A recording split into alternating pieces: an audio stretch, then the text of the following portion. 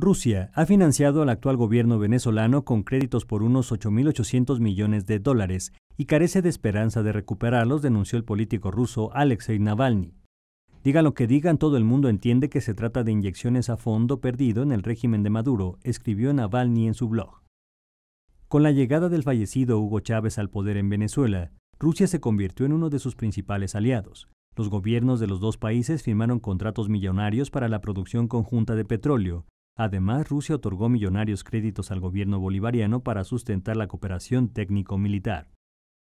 Un informe de Gatton House, Centro Británico de Temas Internacionales, señaló hace un par de meses que más del 80% de los envíos de material bélico de Moscú a América Latina realizados entre 2000 y 2016 tuvieron como destino Venezuela. Sin embargo, desde que los precios del crudo cayeron, la relación se amplió, Maduro no encontró países que le financiaran su deuda y por eso recurrió a su gran aliado, Vladimir Putin. La economía venezolana ha caído desde 2014. El Fondo Monetario Internacional pronosticó crecimiento negativo de 4.1% para 2018 y se espera que la inflación este año se ubique por encima de 700% y aún más en 2018.